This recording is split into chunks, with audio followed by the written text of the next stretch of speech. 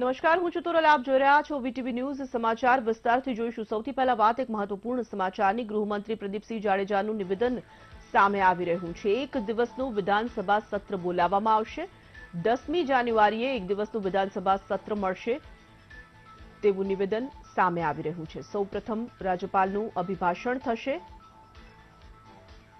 જે વિધાનસભા સત્ર બોલાવવામાં આવવાનું છે, તેને લઈને ગૃહમંત્રી પ્રદીપસિંહ જાડેજાએ નિવેદન કર્યું છે. એક દિવસનું વિધાનસભા સત્ર દસમી જાન્યુઆરીના રોજ બોલાવવામાં આવશે.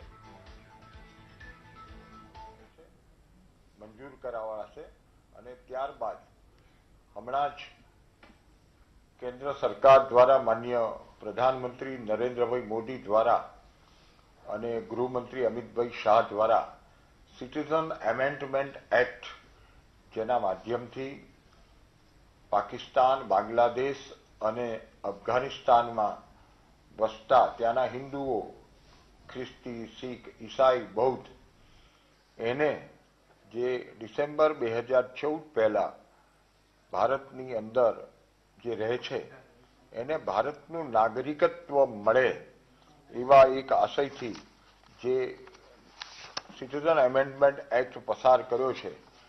એના અંગે આ ઐતિહાસિક નિર્ણયને સમર્થન આપવા માટે વિધાનસભા સત્રમાં પ્રસ્તાવ લાવવામાં આવશે. આમ દસમી જાન્યુઆરીએ મળનારી વિધાનસભાની અંદર આ ત્રણ પ્રકારના કામો હાથ ઉપર લેવામાં આવવાના છે આખું કોંગ્રેસ વિરોધ કરી રહ્યો છે એટલે તોફાની સત્ર બની રહ્યું છે કોંગ્રેસના બિલનો વિરોધ કરે છે એટલે આ સત્ર તોફાની બને એવી શક્યતા મારે કોંગ્રેસને એ પૂછવું છે કે દેશના એસસી, એસટી ને દર દસ વર્ષે આપણે બંધારણીય સુધારો લોકસભામાં મંજૂર થયા પછી વિધાનસભાની અંદર લાવી રહ્યા છે કે જેના કારણે એ એસસી અને એસટીના લોકોને એ અનામતની જોગવાઈ મળે. પચાસ ટકા રાજ્યોની અંદર આ પૂર્ણ કરવું આવશ્યક છે. ગુજરાતે એના માટે દસમી જાન્યુઆરીએ બોલાવી છે. તો શું કોંગ્રેસ આનો વિરોધ કરી રહી છે? મારે એટલો પ્રશ્ન પૂછવો છે. ઓકે થેન્ક યુ રાજસ્થાનમાં ત્રણ પેપર છે. તો એક દિવસનું વિધાનસભા સત્ર બોલાવવાનો નિર્ણય કરવામાં આવ્યો છે. રાજ્યપાલનું સૌપ્રથમ અભિભાષણ થશે.